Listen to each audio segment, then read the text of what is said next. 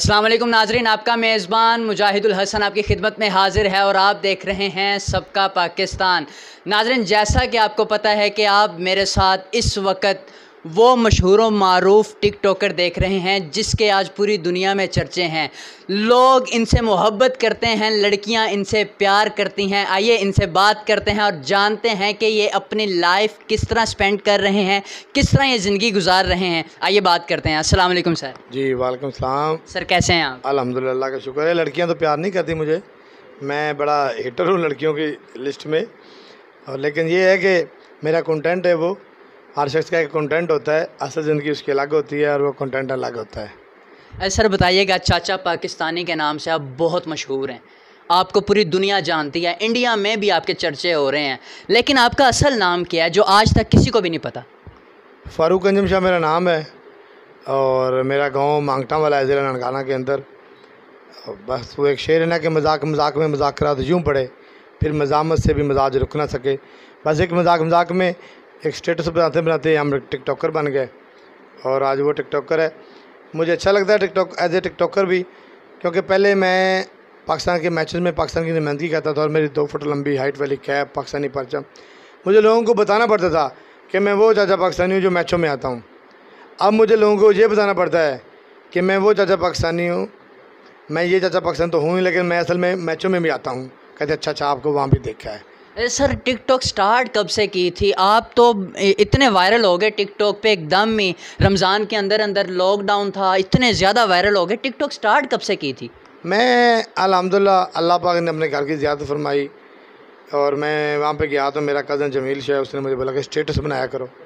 वो स्टेटस के लिए टिकटॉक मैंने बनाई और वहीं पे स्टेटस जो मैंने ना, एक, किसी इस्लामी मुल्क से ख़वातीन आई हुई थी, चालीस पचास उन्होंने ग्रीन कपड़े पहने हुए थे। तो तोहफ़े काबा कर रही थी। तो मैंने उनकी एक वीडियो बनाई। ऊपर लिखा के देखें दुनिया में किस तरह मनज़म होकर लोग उम्र करने आते हैं और पाकिस्तानी लोग जो मनज़म नहीं होते। तो वो वीडियो इतनी वायरल हुई कि ब्लैक अल्लाह का घर था, खाना काबा, और उसमें ग्रीन कपड़ों के अंदर वो तीस चालीस औरतों का एक वफद था। तो वो उस टाइम की पाँच छः लाख पे वीडियो गई, जिसने मुझे दस पंद्रह हज़ार फॉलोअर दिए। तो बड़ा एक नशा सा लग जाता है। फेम हर इंसान की भूख है। इंसान की फितरत है, उसको तारीफ़ अच्छी लगती है खुश आमद वो बड़ी पसंद करता है। तो ये फेम भी होता है, उसी की दो, एक तीसरी अलामत है। तो बस, वो फेम के चक्कर में फिर मैं पढ़ा और पाकिस्तान में भी आके मुझे नैला जट्टी ने बड़ा सपोर्ट किया। फिर मेरी रोस्टिंग चलती थी, मैं लोगों को रोस्ट करता था, जो लोगों को गालियाँ देते थे। फिर ज़्यादा फेम मुझे मिला जब अली हैदराबादी को मैंने चैलेंज दिया। और वो चैलेंज मेरा, हर वीडियो मेरी पहली वीडियो ही पाँच छः मिलियन पे गई थी। तो फिर मैंने उस चैलेंज को नहीं छोड़ा।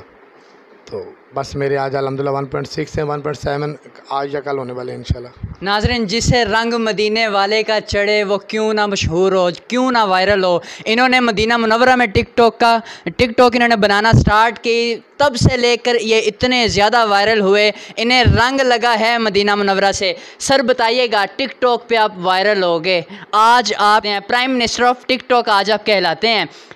कामयाबी के पीछे राज किस चीज़ का है? देखिए, मैं बड़ा दोस्तों के साथ सपोर्टिव मेरा करेक्टर है। मैं फैमिली के साथ मिल के रहता हूँ माँ बाप के साथ मिल के रहता हूँ।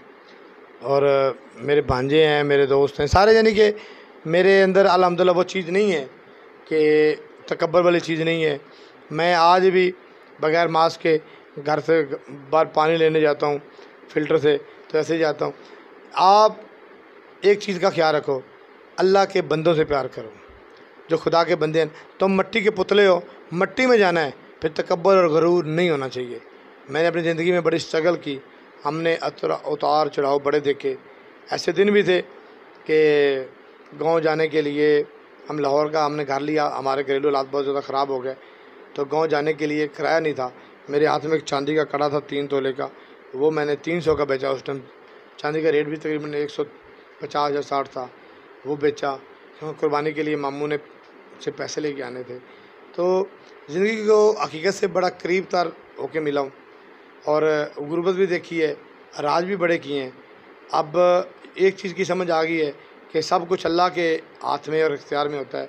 अल्लाह जिसे चाहे जब मर्ज़ी नवाज़ दे। आज अलहमदिल्ला, मैं लाखों रुपया कमा रहा हूँ इसी टिकटॉक की वजह से। तो ये सब अल्लाह के कमालत हैं। और कोई भी काम हो, जिसमें आप मेहनत करो, सच्चे दिल से मेहनत करो, लगे रहो।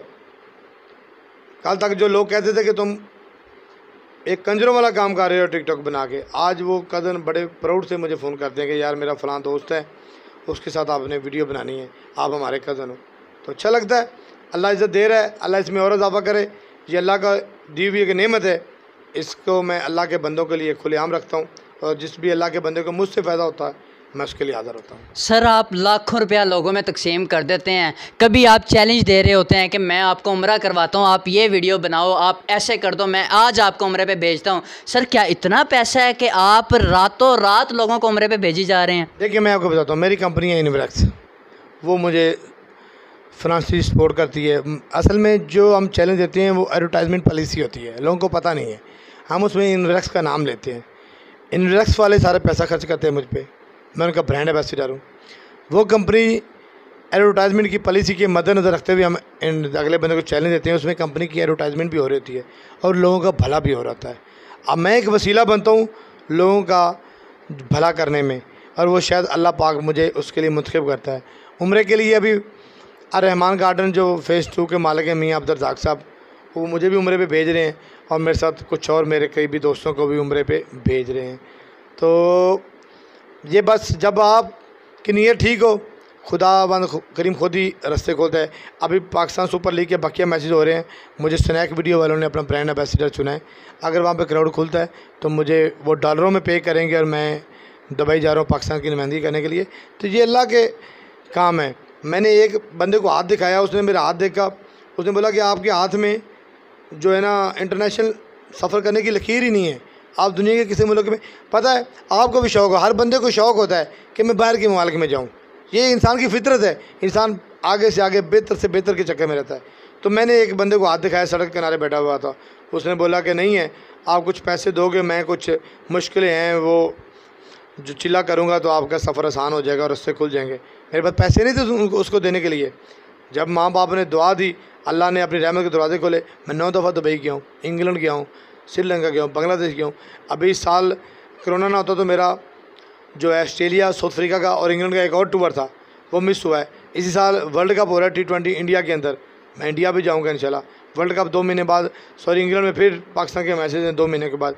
मैं फिर इंग्लैंड जा रहा हूँ। एक पैसा नहीं लगता मेरा। मैं दुनिया में कहीं भी जाता हूँ, एक पैसा नहीं लगता मेरा अलहमदिल्ला सर बताइएगा कि आप कायद अज़म ऑफ़ टिकटॉक भी हैं। आप टिकटॉक के कायद अज़म हैं। वैसे कायद अज़म मोहम्मद अली जना आप पाकिस्तान के कायद अज़म हैं। आप टिकटॉक के कायद अज़म कैसे बन गए? देखें कायद अज़म कोई भी बंदा अपने को कह सकता है लेकिन कैद अजम मोहम्मद अली जना की मैं खाक के बराबर भी नहीं। सर कायद अज़म लफ्ज़ बहुत बड़ा है। पूरी दुनिया के जो रहनमा है वो हज़रत मोहम्मद अलैहि वसल्लम है। कायद अज़म पूरी दुनिया के रहनमा नहीं है। वो पाकिस्तान के कायद अज़म हैं, इंडिया के कायद अज़म जो हैं, वो गांधी हैं। हर जो कायद होता है, जो आपका लीडर हो, जो लीडरों में सबसे बड़ा हो, उसका मतलब होता है कायद अज़म टिकटॉक एक अपनी कम्युनिटी है, अपनी दुनिया है। उस कम्युनिटी का मैं सिर्फ़ कायद अज़म हूँ। मैं पाकिस्तान का कायद अज़म नहीं हूँ। और ख़बरदार, कोई बंदा भी मुझे कायद अज़म मोहम्मद अली जना के साथ जोड़ने की कोशिश करे, वो मेरे भी कायद हैं, वो सब के कायद हैं। और वो रहती दुनिया तक, जब तक पाकिस्तान, ताकि आमद सलामत है इन वो कायद अजम मोहम्मद अली जना यहाँ के कायद। अच्छा सर चाचा पाकिस्तानी शादीशुदा हैं कितने बच्चे हैं इनके? मेरी माशाल्लाह तीन बेटियाँ हैं। एक बेटा है अल्हम्दुलिल्लाह। और इसलिए मैं अक्सर कौम की बेटियाँ ही कहता हूँ। और अक्सर लोग इस पर भी उंगली उठाते हैं कि आज का मेरा ट्रेंड चल रहा है कि मैं शादी कर रहा हूँ। मेरे जब तक मेरे जो कि मेरे इस्लाम में चार शादियों का है तो मैं चार शादियाँ कर सकता हूँ। तो इसमें कोई हर्ज भी नहीं है। इस पर किसी को उंगली भी नहीं उठानी चाहिए। और चूँकि हम स्टार हैं, कितने भी बड़े बड़े स्टार हैं, जब उनकी शादियों की बात होती है तो वो वायरल होती हैं। मैं स्टार हूँ और मेरी शादी की बात बात भी ऐसी वायरल होती है जैसे दूसरों की होती है। इसमें कोई बुराई नहीं है। आप चार शादियाँ कर सकते हैं, अगर आप उनके अखराज उठा सकते हो तो। सर, आप चाचा पाकिस्तानी के नाम से मशहूर हैं और पाकिस्तान की आप बाहर जाके भी नुमाइंदगी करते हैं। अभी हाल ही में हामिद मीर साहब ने पाक फ़ौज के ख़िलाफ़ बयान दिया है, क्या कहेंगे आप? देखें मैं कहता हूँ कि हम अगर आज सुख का सांस लेके बैठे हुए हैं हम टांग के ऊपर टांग रख बैठे हुए हैं, इसमें उन माओं के लगते जिगरों की बेताशा कुर्बानियाँ हैं कि जिन्होंने इस सरहदों पे हमारे लिए कुर्बानियाँ दी और उन्हीं की वजह से पाकिस्तान सलामत है। तो मैं आमिर की इस बात का जो है बिल्कुल एक्सेप्ट नहीं करता, उन्होंने गलत किया है। वो कौम से माफ़ी मांगे, पाक फ़ौज से माफ़ी मांगे।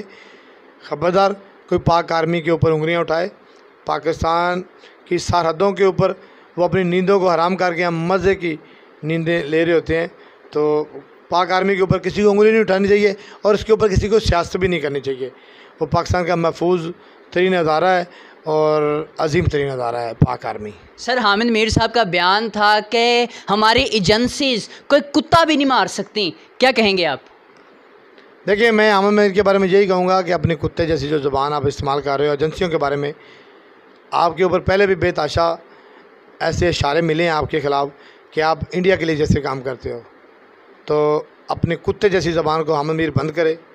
चाचा पाकिस्तानी, अगर अपनी आई पे आ गया तो पूरे पाकिस्तान की टिकटॉक आपके कुत्तों वाले ही हाल करेगी और ना कि टिकटॉक, स्नैक और लाइकी।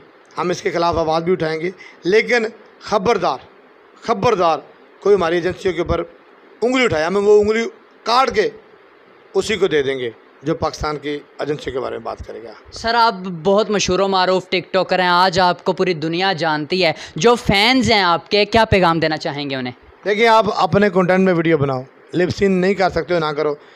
अच्छे रिज़ल्ट के साथ वीडियो बनाओ और वॉइस क्वालिटी भी आपकी अच्छी होनी चाहिए। कंटेंट आपका मायने रखता है। अगर आपने वायरल होना है अपनी वॉइस के अंदर एक कंटेंट बनाओ आप स्टार बनोगे। मैं ऐसे टिकटॉकरों को जानता हूँ जिनके तीन तीन मिलियन फ़ैन हैं, लेकिन उनको लोग नहीं जानते। रीज़न, वो लिप सीन करते हैं। ठीक है?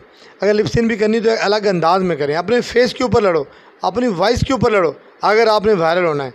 अगर आप अभी एक माचिस की डिब्बी के ऊपर बंदा पैर मारता है और उसमें आग जलती है, वो ट्रेंड था, वो दस दिन पहले ट्रेंड था। जो आप, आज आज उसके ऊपर वीडियो बनाएगा तो वायरल नहीं होगी। आप इस तरह के ट्रेंड खुद क्रिएट किया करें। आठ, दस, पंद्रह दस, पंद्रह, बीस वीडियो बनाएँ इन वो ट्रेंड आपका चल पड़ेगा। लेकिन मुश्किल मजाजी के साथ, वो एक मिसाल है ना कि पूरी लगन, सच्ची मेहनत, पूरी लगन अगर आपके काम में हो तो बजाय इसके कि प्यासा कुएँ के पास जाए, कुआँ खुद चल के आपके पास आ जाएगा।